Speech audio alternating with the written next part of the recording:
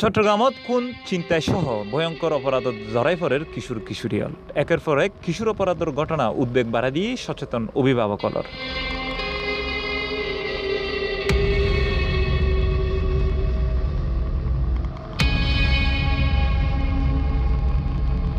সাম্প্রতিক সময়ে গটি দেওয়া কিশোর আদনান ইস্পার আর কিশোরী তাসফিয়া হত্যার পর আরও কিছু কিশোর অপরাধ গটি গিয়ে চট্টগ্রাম শহরত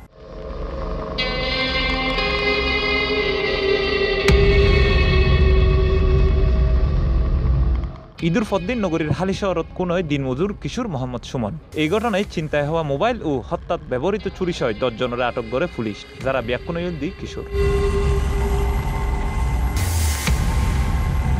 এছাড়া বন্দর নগরী বাকুড়িয়া জসিম কুনে যে পাঁচজনের আটক করা তারাও ভারতক্ষণ আঠারো বছর বয়সী।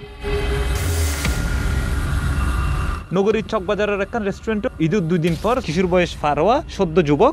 আয়মানের চুরি মারি বেলায় প্রেমিক আনাস আহমেদ রুবা বরাতত চুরি তুলি দিয়ে উম্মা এমন সিন নামর তার স্কুল পড়ুয়া প্রেমিকা। এই ঘটনাত গ্রেপ্তার ছয়জনই কিশোর কিশোরী।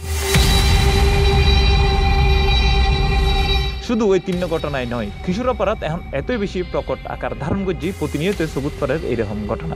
যেটা কেউ টিয়ান লুবে অপরাধ করের কেউ বা নারী সংক্রান্ত হারণে আবার কেউ অপরাধ করের নিজের ক্ষমতা জাহির করি বেলায়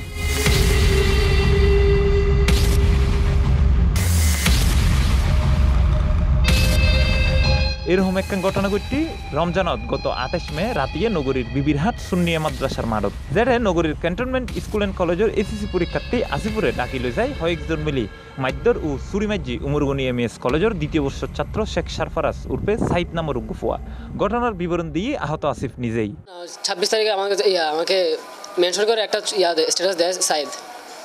স্ট্যাটাসে বলে যে মানে আমাকে নাকি মারবে, এরকম হুমকি হুমকি দেয় মানে সুযোগে মার্ডার করবে। তোর ফ্রেন্ডরাও আমাকে মানে আমার প্রোফাইলের ছবি তুলে ওখানে কমেন্টে দেয়। কমেন্টে দিয়ে দেখা যায় আমি এই ছেলেটা। তো আঠাশ তারিখে আমরা রাতে আমরা তারাবি নামাজ পড়ে বসলাম, আড্ডা মারতেছি। তখন ও কল দিল। কল দিয়ে বলল যে, একটু সিনেমা যেখানে আসো, কথা হবে। তো আমরা আরাফাত, আমি আর আমার, ওর একটা বন্ধু, সবুজ, আমরা গেলাম সুনিয়া মাঝার মাঠের ওখানে। মাঠের ওখানে যাওয়ার পরে আমরা রাস্তার পাশে থেকে ছিলাম। দেখি কিছু, কিছুক্ষণ পর দেখি ওখান থেকে প্রায় একদল, প্রায় পনেরো বিশ জনের মতো হবে। একটা দল আসছে। সামনে সাইড ছিল ওদের একটা বড় ভাই ছিল সাকিব। ওরা আমার সামনে আসছে। সামনে এসে মানে কথা বলতে, কথা বলা শুরু করছি। এই সময় দেখি সবাই আমাকে মানে চারদিক দিয়ে ঘিরে ফেলছে আমাকে। চারদিক দিয়ে ঘিরে, তারপরে সাকিব মানে আমার ফ্রেন্ডদেরকে একটু দূরে সরাই ফেলছে।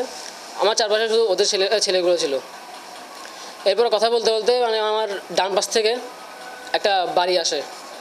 বাড়িটা খারাপ আমি আমি ডান দিকে যখন তাকাই, এরপর এলোপাতিরভাবে আমাকে ইট মারা শুরু করছে আমাকে।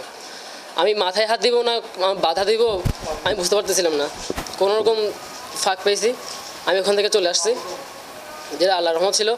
রাস্তায় এসে মানে আমি যখন দৌড় দিয়েছি, রাস্তায় এসে আমি মানে পড়ে যাই। তো বসাইছে, ওদের দুটো ছেলেদের আমার সাথে পাঠায় শামসারপাড়া একটা ইয়াতে হসপিটালে ওখানে গিয়ে আমার চিকিৎসা করায়। মানে সে সিলাই করায় প্রায় পনেরো বিশটা পনেরোটার মতো।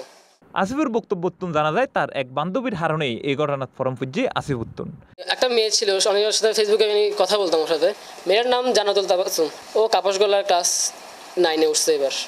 কথা বলতে বলতে এক প্রকার অনেক ভালো ফ্রেন্ড হয়ে গেলাম। তো ছেলেটা ছিল ওর কাজিন ও ছেলেটা জানতে পারে একদিন। জেনে এখন আমাকে অনেকবার নক দিছে।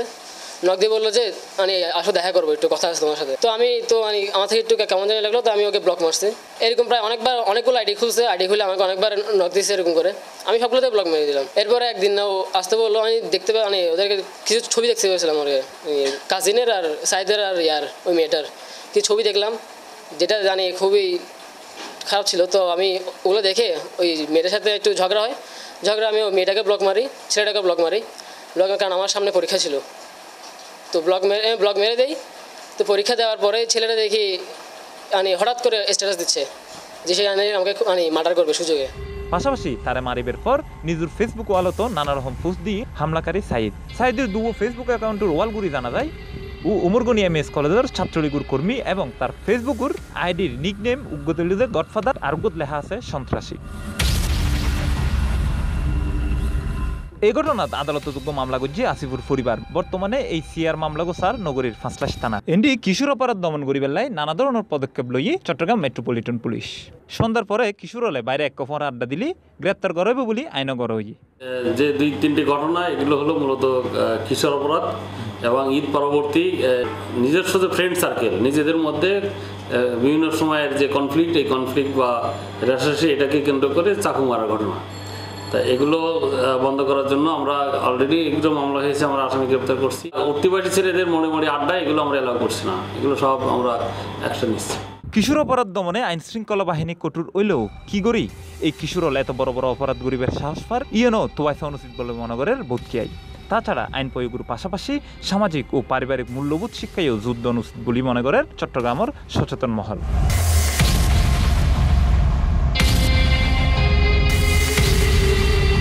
desk news C plus TV